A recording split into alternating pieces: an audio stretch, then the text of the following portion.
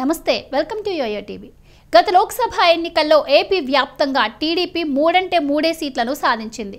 అందులో శ్రీకాకుళం ఒకటి. ఇక్కడ మరోసారి ఆధిక్యం చాటాలని టీడీపీ ఈసారి కింజరపు కుటుంబానికి చెక్ పెట్టాలని వైసీపీ పావులు కదుపుతోంది. దీంతో శ్రీకాకుళం లోక్సభ ఎన్నికపై ఆసక్తి నెలకొని ఉంది. శ్రీకాకుళం లోక్సభ సీటు ఒకప్పుడు కాంగ్రెస్కు కంచుకోట.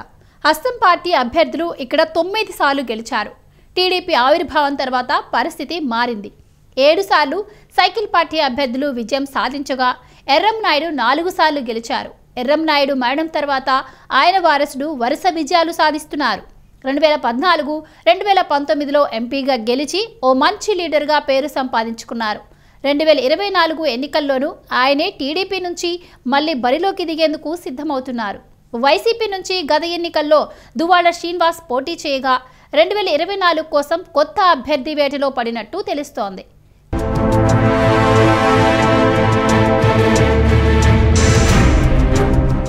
కళింగ సామాజిక వర్గానికి చెందిన మాజీ కేంద్ర మంత్రి కిల్లి కృపారాణి వెలవ సామాజిక వర్గానికి చెందిన ధర్మాన సోదరుల్లో ఒకరు ఎంపీ అభ్యర్థిగా బరిలో దిగే అవకాశాలు ఉన్నాయనే ప్రచారం నడుస్తోంది. శ్రీకాకుళం పార్లమెంటు పరిధిలో ఏడు అసెంబ్లీ నియోజకవర్గాలు ఉన్నాయి. గత ఎన్నికల్లో రెండింట్లో టీడీపీ ఐదు స్థానాల్లో వైసీపీ విజయం సాధించాయి. శ్రీకాకుళం ఇచ్చాపురం టెక్కలి పలాస పాతపట్నం ఆముదాల వలస నరసన్నపేట సెగ్మెంట్లు సిక్కోలు పార్లమెంటు పరిధిలోకి వస్తాయి. అచ్చెన్నాయుడు ధర్మాన బ్రదర్స్ స్పీకర్ సీతారాం మంత్రి సిదిరి అప్పలరాజు ఈ పార్లమెంట్ సెగ్మెంట్కు చెందిన నేతలే కావడంతో రాజకీయ కాక పెరుగుతోంది.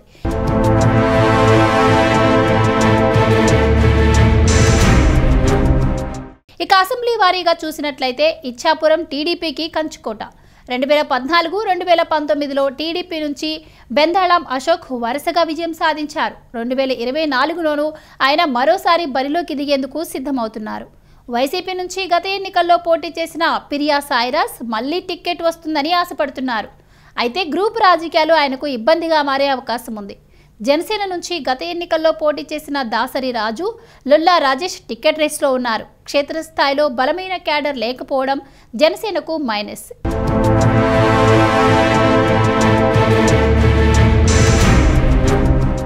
పలాస నుంచి మంత్రి సిదిరి అప్లరాజు సిట్టింగ్ ఎమ్మెల్యేగా ఉన్నారు. రాబోయే ఎన్నికల్లోనూ ఆయనే బరిలోకి దిగే అవకాశాలు ఉన్నాయి. అయితే సిదిరికి పలు అంశాలు మైనస్గా మారుతున్నాయి. టీడీపీ పార్టీకి బలమైన క్యాడర్ ఉన్న నియోజకవర్గ ఇన్ఛార్జ్ గౌతు శిరీష దూకుడు పెంచాల్సిన అవసరం ఉంది. పలాసలో జనసేన పార్టీ పుంజుకుంటోంది. దీంతో ఇక్కడ త్రిముఖ పోరుకి ఛాన్స్ ఉంది. ఇక టెక్కలి నుంచి ఏపీ టీడీపీ అధ్యక్షుడు అచ్చెన్నాయుడు సిట్టింగ్ ఎమ్మెల్యేగా ఉన్నారు. వైసీపీ నుంచి ఎమ్మెల్సీ దువ్వాడ శ్రీనివాస్ ఈసారి టెక్కల్ నుంచి బరిలో దిగబోతున్నారు. దువ్వాడను గ్రూప్ రాజకీయాలు ఇబ్బంది పెడుతున్నాయి. ఇక టీడీపీ ఇక్కడ ఆధిక్యం అందుకోవచ్చు. అలాగే నర్సన్నపేటలో ధర్మాన కృష్ణదాస్ సిట్టింగ్ ఎమ్మెల్యేగా ఉన్నారు.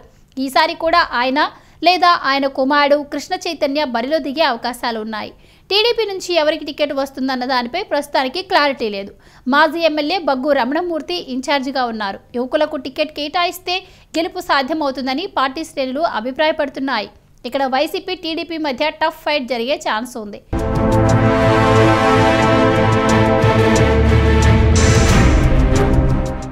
ఇక పాతపట్నం విషయానికి వస్తే సిట్టింగ్ ఎమ్మెల్యేగా రెడ్డి శాంతి ఉన్నారు.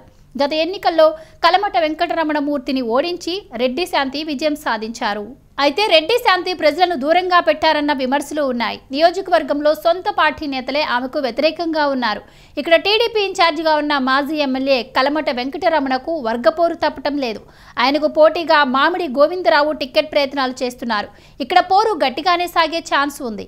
ఇక ఆముదాల వలసలో స్పీకర్ తమ్మినేని సీతారాం సిట్టింగ్ ఎమ్మెల్యేగా ఉన్నారు. గ్రూప్ రాజకీయాలు ఇక్కడ వైసీపీని ఇబ్బంది పెడుతున్నాయి.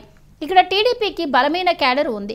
దూకుడు రాజకీయం చేస్తున్న కోన రవికుమార్ మేనమామ తమ్మినేనికి గట్టి పోటీ ఇస్తున్నారు. ఈసారి ఇక్కడ టీడీపీకి ఆధిక్యం చాటవచ్చు. ఇక శ్రీకాకుళంలో మంత్రి ధర్మాన ప్రసాదరావు సిట్టింగ్ ఎమ్మెల్యేగా ఉన్నారు.